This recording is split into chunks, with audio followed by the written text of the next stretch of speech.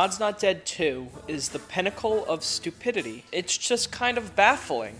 This movie isn't as bad or offensive as the last one, but it somehow manages to be even more stupid, if that makes sense. While God's Not Dead was full of stereotypes, racism, and annoying preachy shit, God's Not Dead 2 is so detached from anything I would call reality, it's hard to even take it seriously.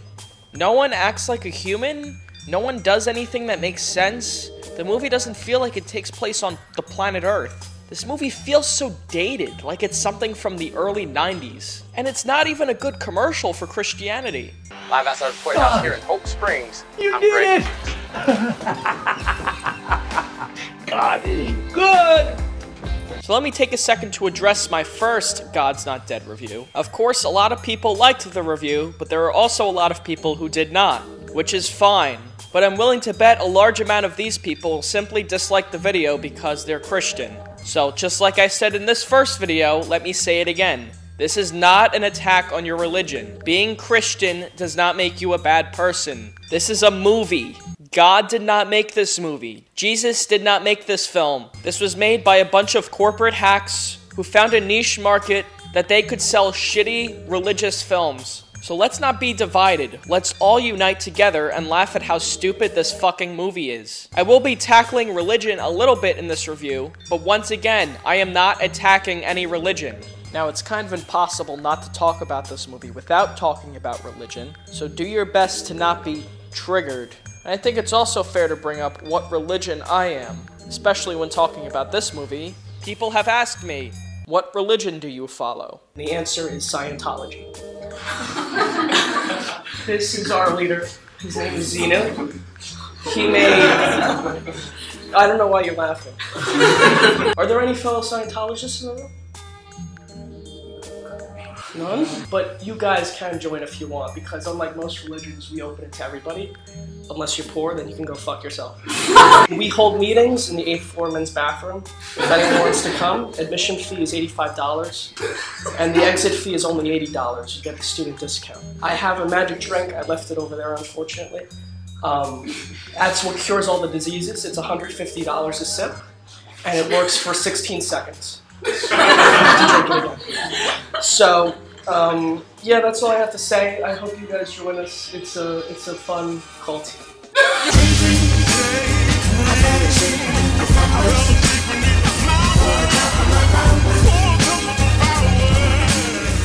Pureflix. Pureflix is actually the worst thing ever. What is Pureflix? It's the company that made this shitty movie, as well as other shitty religious films. Have to go back to the Holy Land. We will meet in Jerusalem and we must bear witness to what happens there.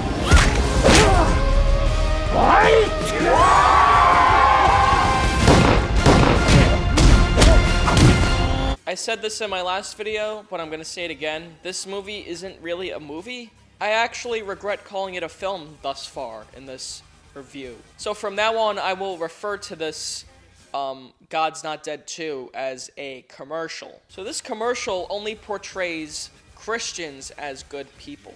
Amy, that's wonderful.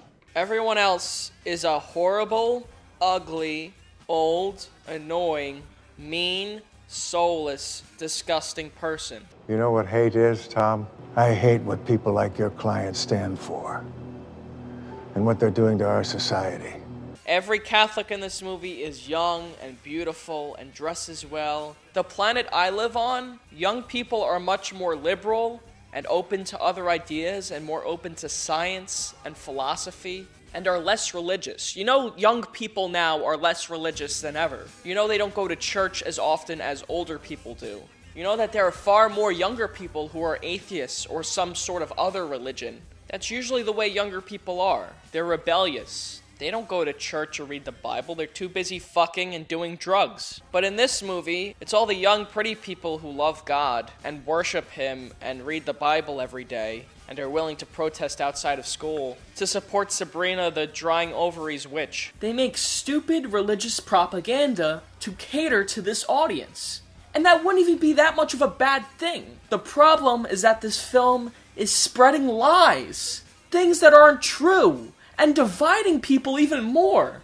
For no reason. It does this by painting everyone who isn't a Christian as a bad person, which is terrible. We're going to prove once and for all that God is dead. No one wants to kill God. A majority of atheists don't believe in God simply because there's no proof for him, in the opinion of atheists. This does not mean they're bad people, and this does not mean they want to fucking kill God. Of course, if you're a rational person, you know that not being Christian does not make you a bad person. But the movie has to make it seem this way to cater to its core audience, even if none of it is true. Every example of Christian persecution in this movie is wrong. It's not true. The movie even claims to be inspired by true court cases, which fascinated me because after seeing it, the movie was so dumb I couldn't believe any of it was true. They made sure to include all the court cases this movie is based on in the end credits, so I made sure to look at all of them. While I was looking it up, I found this wonderful article. Here's the link. Link's also in the description that goes through every single one of these court cases this movie is based on. Let me get my reading glasses on.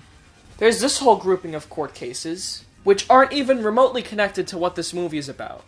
These all basically say that Christian business owners were trying to refuse service to gay people. And of course, the court ruled that you have to serve everyone. Now, whether you agree with this or not, let's not talk about that. It has nothing to do with the movie that we watched. In this one, a fire chief of Atlanta sued the city after it fired him for expressing his religious beliefs about marriage in a book he wrote at the time. That one sounds pretty bad, but luckily this article looked a little further into it. And indeed, the fire chief who was fired wasn't fired because he wrote the book, it was because he was proselytizing on the job, handing out copies of the book to subordinates who never even asked for it. You can't do that! Then there's this whole grouping of cases these court cases have nothing to do, again, with the movie. These court cases are about how Christians don't want to pay um, health insurance for certain things like abortion or contraceptives or birth control. Not related to anything this movie's about. This one's about how two ministers sued the city because they didn't want to do a marriage for a gay couple. Then there's a few more anti gay ones. And again, it doesn't matter how you feel about any of these topics. They're not fucking related to anything in the movie! I'm trying to find one where it's like some teacher said something in the classroom and then got fired for it, but I don't see a single one. This one's against Planned Parenthood. This one's against gay people. Again, it doesn't matter what you feel about any of those topics. What the fuck does this movie have to do with any of that shit? This movie's about some woman saying Jesus in a classroom and then getting prosecuted for it. None of which happened. Pure Pureflix just flat out lied about what this movie's about and how true this movie is. Whether we admit it or not, we're at war. What the fuck are you talking about? Flat. There's nothing visually stimulating about this movie. There's no style to it, the music sucks. A flat, boring look. The set design is flat, all the costumes are boring and bad, all the cinematography is boring. There's no close ups, there's no low shots, there's no aerial shots. There's no interesting lighting. I think there's one shot in the whole movie that actually like impressed me, and that's this one. And it's not a great shot, but at least it conveys some kind of like emotion and you can understand what's going on in this shot. There's some meaning behind it. The rest of this movie looks like a sitcom. There's no depth to any of the images, the camera hardly moves. Everything's just so flat and boring. It looks like a movie that cost half a million dollars to make. Once again, I don't mean to jerk myself off, but I'm gonna do it anyway. I'm making a movie for $10,000, and it looks better than this piece of shit. Why don't you frame things in an interesting way, so that I can get a sense of the characters and the struggles and what's going on? A really great movie is one that you can watch with the sound off and you can still understand what the fuck is going on. Movies are a visual medium, and when you shoot everything like this, and like this, and like this, and like this, it gets boring. The acting. The acting in this movie is absolutely horrible, which is surprising because we have an all star cast. We have a Goldberg, Sabrina the Teenage Witch, a Wizard of Waverly Place, James Cameron, and a Ghostbuster. Is the plaintiff prepared to make its opening statement? No one in this movie emotes anything. They all just seem bored. Sabrina, the middle aged witch, always looks upset. Ernie Hudson doesn't know what movie he's in. And this girl, I, I don't know. I don't watch the Goldbergs. I think that's what she's from. We talked for a long time, and I could tell that she really cared. Hmm. I asked her how she kept it all together so well, and she said, Jesus. Jesus.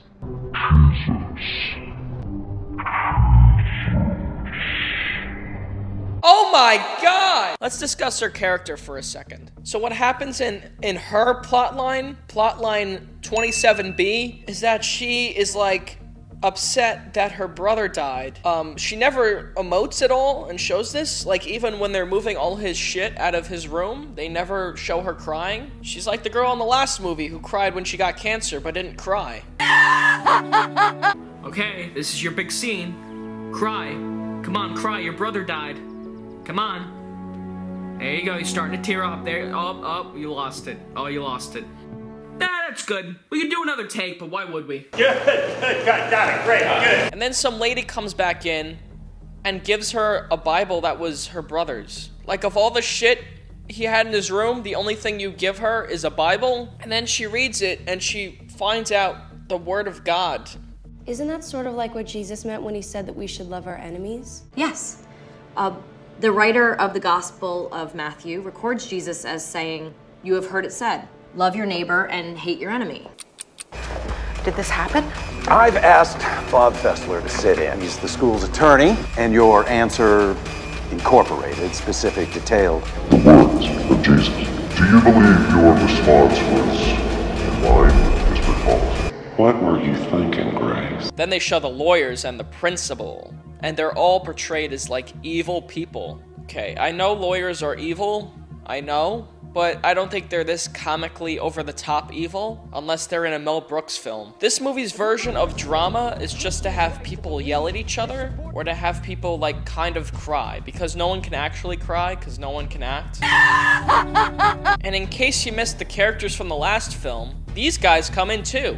I don't think customer service is my forte. So you decided to become a waiter? Well, this is where I do my dinner theater. In the mornings, I serve up croissants. In the evenings, I serve up Chekhov. Oh. Hey, uh, listen, sorry about the whole car not working thing. And so does this woman. What? Now, to recap, in the last film, this woman had cancer, and then she kind of cried about it. Kind of. She cried with no tears. and then in this film, miraculously, her cancer is gone. It's gone. My cancer's. It's gone. Oh my goodness. That's incredible. I know, I just. Prayer is a powerful thing. And it turns out God has much bigger plans for you. Oh, so it wasn't doctors or the medicine? It was Jesus the whole time. Praise Jesus, everyone! He cured her cancer! It wasn't the doctors or the medicine, it was Jesus, everyone! Hallelujah! Hallelujah! Sing it! Hallelujah! Praise Jesus, everyone! Jesus, everyone! Hallelujah! Oh, oh, baby! Hallelujah! Best! A dumb premise. As if all this wasn't bad enough, the plot makes no fucking sense. Well, she got a teacher in trouble for asking her about Jesus. What? This wannabe Catholic girl brings up religion in a class. She says something about Jesus, and then she answers her question very fairly. And some random kid in the class was so offended by this, for some reason, that he decides to pull out his phone and start texting his parents or the principal about how offended he is. And then she gets called in, and is suspended just for this. That's not how the real world works. No one would ever get suspended or fired for saying that. Now, I have a cousin who's a teacher, and I also have a close friend that's a teacher, and I asked them both if someone could be fired for saying something like this. My cousin told me about this little thing called tenure. In layman's terms, tenure is the idea that after teaching a certain number of years, the rights of a teacher are protected. The main point of tenure is to protect teachers from being fired without just cause. Most states in the country have established the probationary period as three years. Because, of course, sometimes teachers are going to have to be rough with their students, give them bad grades, punish them academically, and this basically protects teachers from being fired when a parent complains about something. She also said, and I quote, you would literally have to punch the kid in the face to get fired. Saying Jesus, especially if referring to them in a historical context, would not result in anything close to resembling this movie. Of course, those are just two teachers, but I'm willing to bet they know more about this whole process than um, PureFlix Entertainment. At PureFlix, our mission has not changed, and it will not change. Our heart will always be to create entertainment that can change the culture for Christ, one heart at a time. A response from Ms. Wesley confessing the inappropriateness of and apologizing for her actions, along with a pledge not to engage in similar discussion of Jesus in the future. I'm confident that we can move forward on that basis. No. Just apologize. I understand you did nothing wrong, and there would be no reason to apologize, but just do it.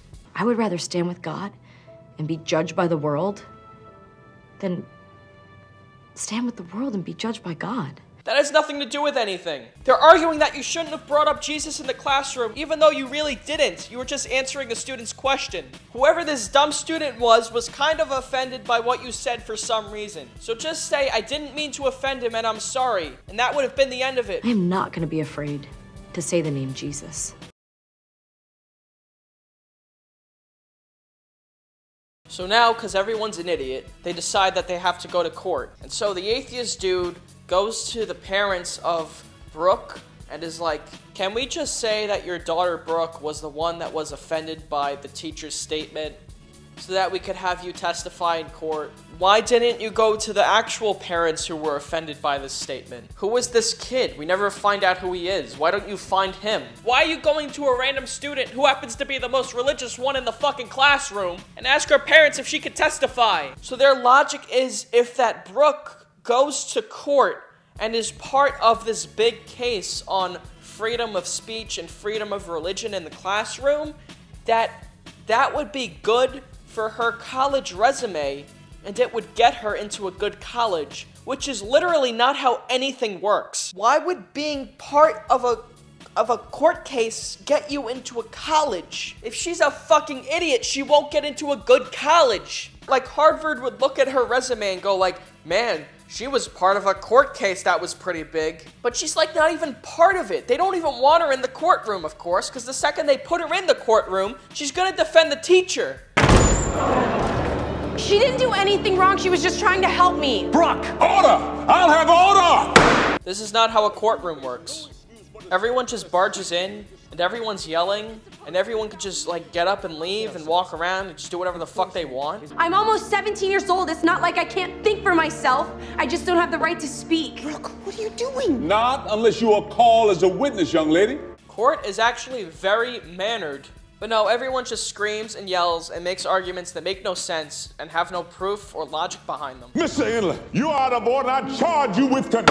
I accept the charge because I have nothing but contempt for these proceedings. If we're going to insist that a Christian's right to believe is subordinate to all other rights, then it's not a right. Somebody is always going to be offended. Now, both sides make very good points, but that's not the point. They are making points about things that aren't even related to the case. Prosecution has, like, no proof for anything, and the defense has no defense other than We can reconstruct the basic facts about Jesus just from non Christian sources outside the Bible. That's not what we're talking about. The case is was it fair for the teacher to bring up Jesus in historical context if a student asked a question related to Jesus? The answer is, of course, yes. But this movie takes place on a different planet, apparently, where the answer is no. And where you get fired for saying such a thing. So, yes, in this completely stupid, hypothetical case, the Christians are right. But like I said before, such a thing has never happened in this country. And in instances where it did happen, it's because someone was literally preaching to other people. Which, of course, you cannot do because everyone believes in something different. So now we're stuck because the rest of this movie is automatically invalid. Because this would never happen in the real world. So the only thing I can do at this point is just go along with it. Believe it or not, the Christians win. Of course. We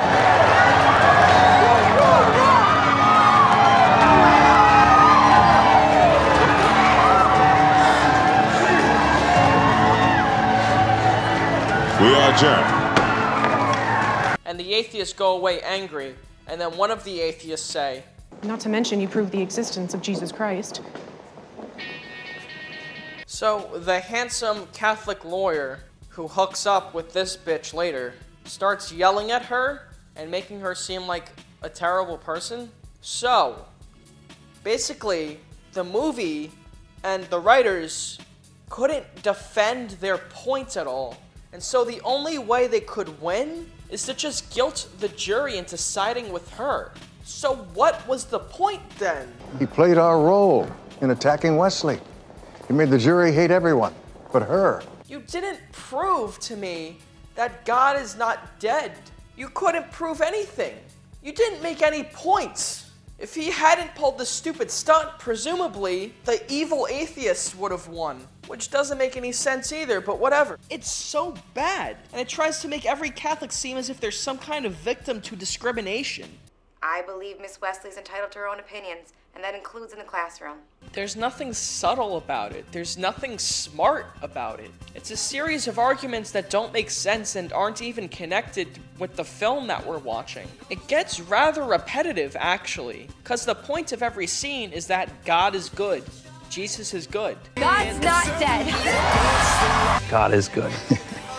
All the time. God is good! and All the time. God is good. If you're Christian, you're good. Your diseases will be cured. You'll all be a happy family. And you all get to go to a free rock concert where these guys get to sing about Jesus, and you all live happily ever after. And if you're anything besides that, you're a bad person. That's terrible. It's a film full of straw man arguments, nonsense, and lies. This is not how the world works, ladies and gentlemen. And that's why this commercial sucks. It's just stupid. Okay, now that I'm done with this review, I'm gonna go back to selling Scientology to the masses. Hello, hi.